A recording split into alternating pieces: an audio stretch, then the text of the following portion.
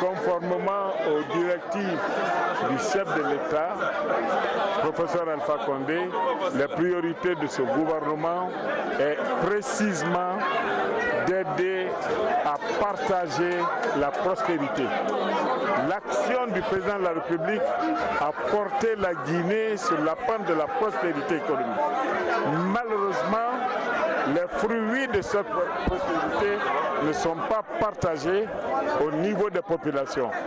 Notre travail est de traduire en termes microéconomiques ces succès macroéconomiques réalisés par la gouvernance Alpha Condé.